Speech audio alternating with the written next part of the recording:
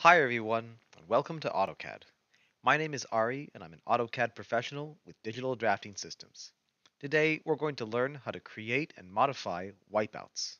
We can find the wipeout tool by going to our Annotate tab in our ribbon, and here it is in the markup panel right here. We can also type WI and it'll pop up in our command line. So when we use wipeouts, we have a few options. We can simply begin using it, or we can look in our command line and see that we have frames and polyline as options. Let's use it first and then we'll get into the other options. So I'm going to specify my first point just like AutoCAD is telling me. So I'll click here.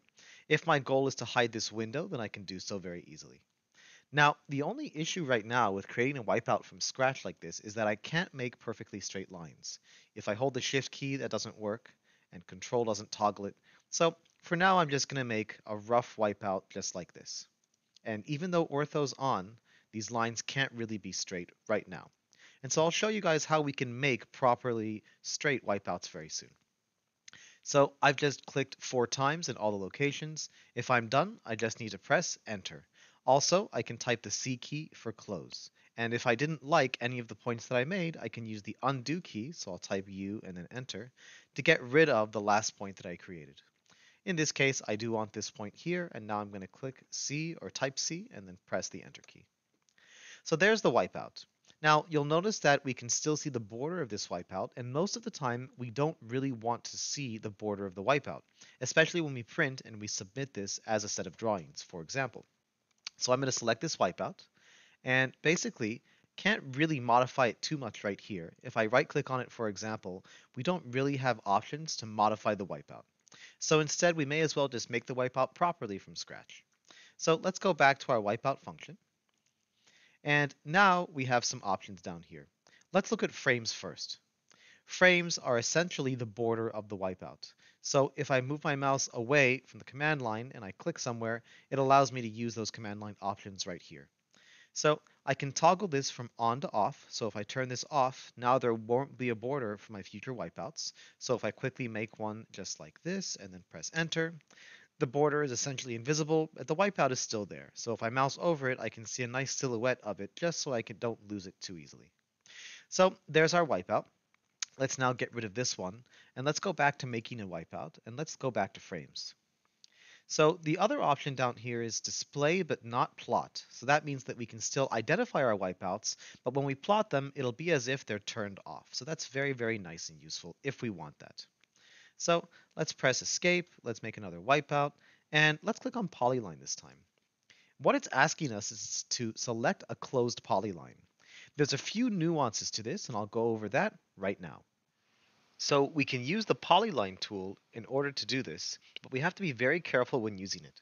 For example, if I just use the tool like this, let me turn ortho off so I can make any shape, then if I try to click on the grip at the end to close it, I will not be able to use a wipeout and associate a wipeout with this polyline. Instead, I need to press the C key so I can close the polyline automatically. Now that I've done that, I can go back to Annotate, wipeout, and then I can go to polyline. And once I select this, I get the proper dialog which says erase polyline, yes or no. So you could erase the polyline if you wanted to. I'm going to say yes just to show you guys.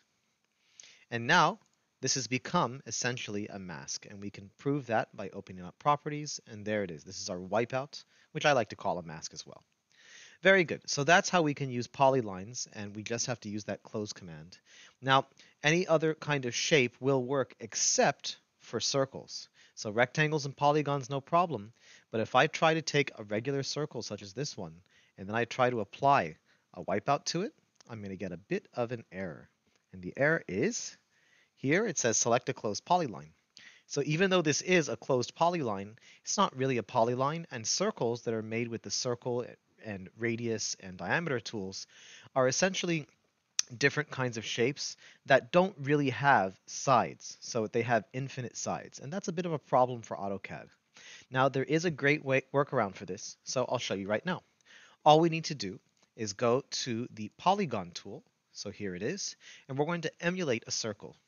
So it's going to ask us how many sides this polygon has. And AutoCAD has a limit to the amount of sides that you can place. And so that limit is 1024. So if we use this and press enter, now it's asking us to make our polygon, and when we do, we can choose inscribed or circumscribed. It doesn't really matter. Let's do circumscribed. There it is. This essentially looks just like a circle. Now, if I click here and if I click on the circle, it has way too many grips, uh, roughly 1,024 of them to be exact. so this isn't really a true circle. It is close though. So if you do need to apply a wipeout to a circular area, just use a polygon and turn it into a circle because now if we go to annotate and wipeout, press P for polyline, and if we click on this, now we get the proper dialog. Let's say no this time. Now we should have two objects here. Yep, we have both objects, the polyline and the wipeout. And so that's how you can essentially apply a wipeout to a circular object or to a circular area. Thank you very much for watching our tutorial on how to create wipeouts in AutoCAD. Once again, my name is Ari and I'm with Digital Drafting Systems. Hope you have a great rest of your day.